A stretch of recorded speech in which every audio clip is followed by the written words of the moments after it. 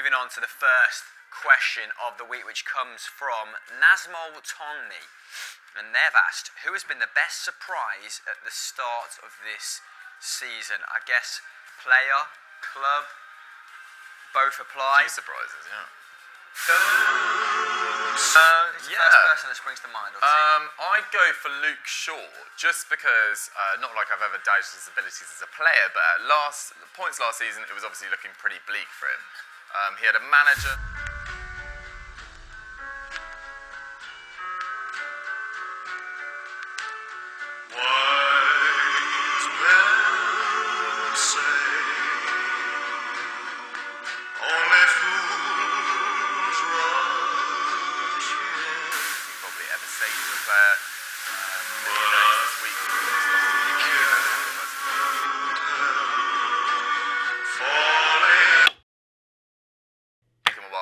He didn't look quite himself, um, but he said that missing out on the World Cup squad, even though he was never likely to go, really spurred him on over the summer. He went to Dubai.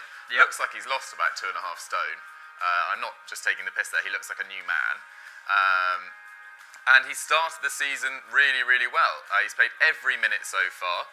Um, he's got that. He's got that goal. Um, looks full of confidence, full of running on that left-hand side. Really linking up well.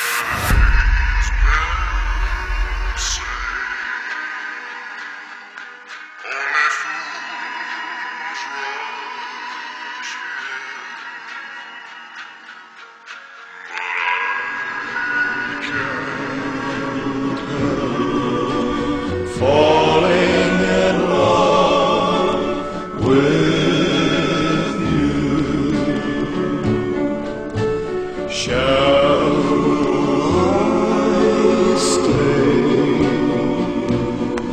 Would it be a sin if I